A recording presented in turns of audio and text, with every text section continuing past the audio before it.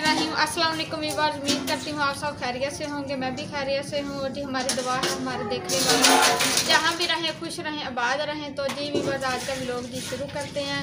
और व्लॉग शुरू करने से पहले अगर आप हमारे चैनल पे हैं तो जल्दी से चैनल को सब्सक्राइब कर दें और वीडियो को लाइक भी कर दें। तो जी आज माशाल्लाह जी देखें, धूप कितनी प्यारी निकली है और अब्दुल हादी के जी कपड़े हमारे भी बड़े धोने वाले अब्दुल हादी के भी।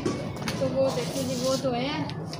और मैंने कहा कि खुशक भी निकालनी है, कपड़े सुखाने वाली मशीन पे अम्मी जी धो रही है। मिलके दोनों धो रही हैं।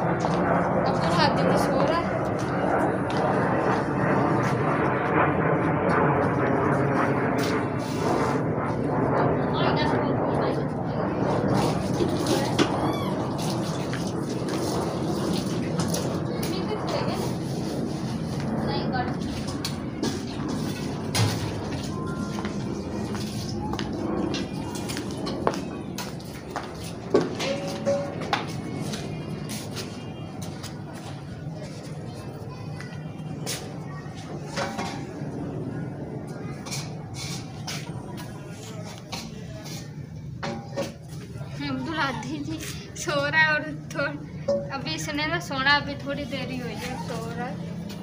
ये चराबे वगैरह इसकी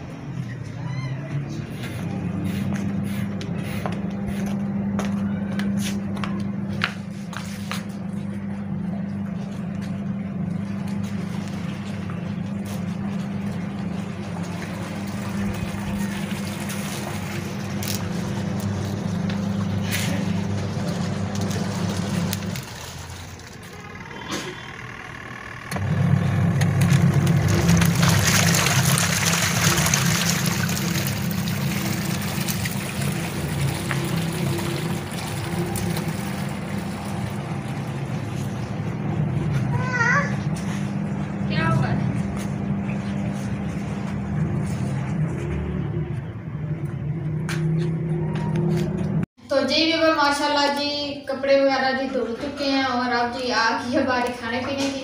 और आज जी मैं बनाने लगी हूँ, आप ये देखें माशाल्लाह जी, आलू, मटर और गाजरों वाले जी चावल। और जो बहुत ही ज़्यादा टेस्टी बनते हैं तो चावल जी मैंने धो के, भिगो के रख ली है। और अदरक, लहसुन का पेस्ट हरी मिर्च का वो भी पीस लिया मैंने अच्छी तरह।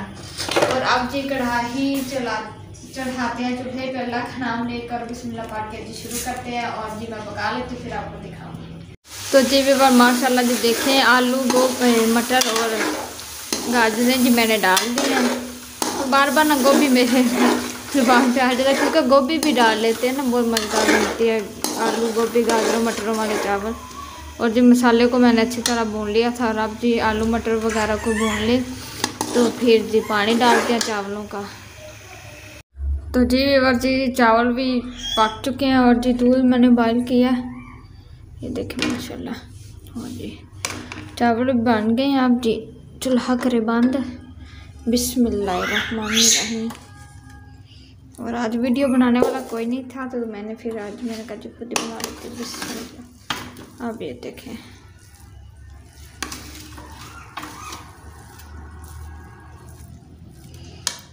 तो जी भी वजह देखे जी, माशाल्लाह जी चावल तैयार हो गए हैं। और देखने में माशाल्लाह जी बहुत ही खूबसूरत लग रहे हैं तो खाने में भी खूबसूरत ही होंगे।